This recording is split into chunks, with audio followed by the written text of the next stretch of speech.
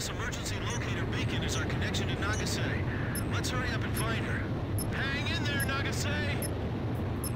Pay attention to the changes in the signal's pitch and tempo. Right.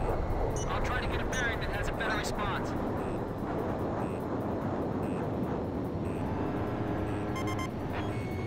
Ken, do you understand how to view the distress signal sensor on your HUD? Don't signal. Okay. I can keep going. Hey, Blaze! Did you see someone below us just now? I thought I saw someone moving. Maybe it was just my imagination.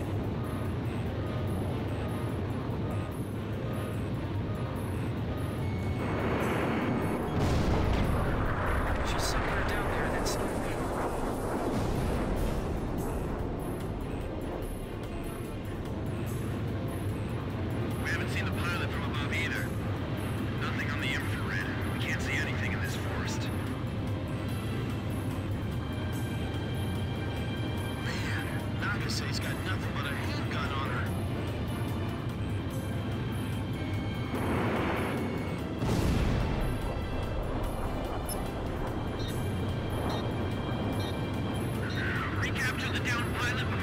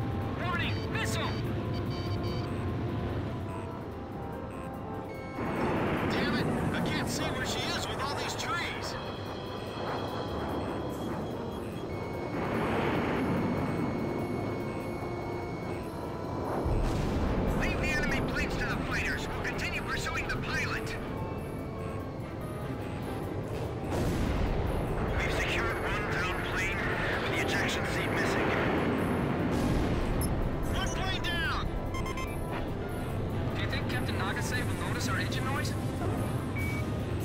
Yeah. Let's use this sound to boost her morale. Several dozen enemy soldiers. They're about 300 yards east of here.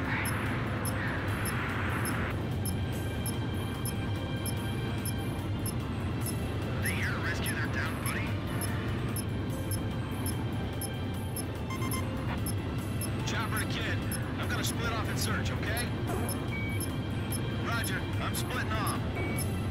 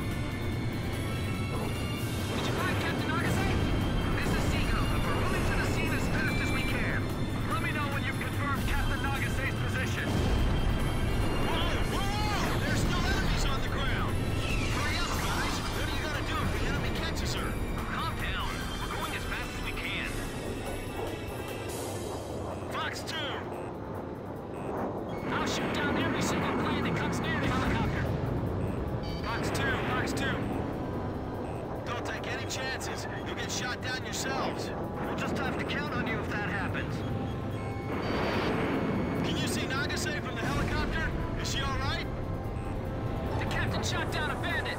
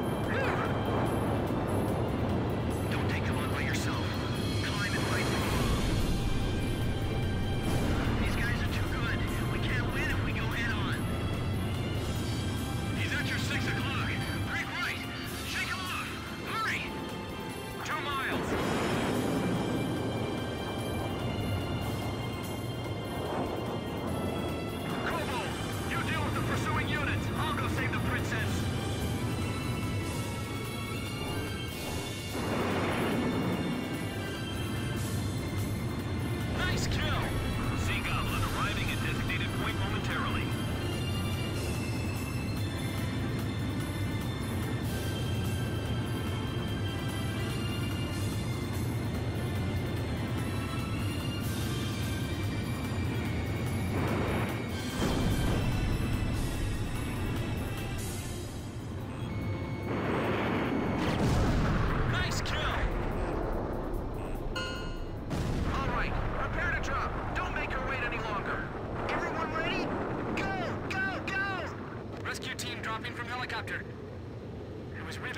there for a while.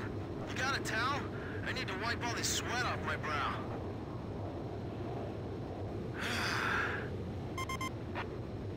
Say, Blaze, I think that song would be perfect for a time like this, you know? Yeah, Face of the Coin. I love that song.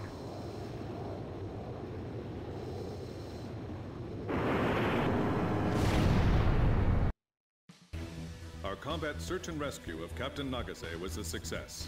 We're having a physician check on her condition right now.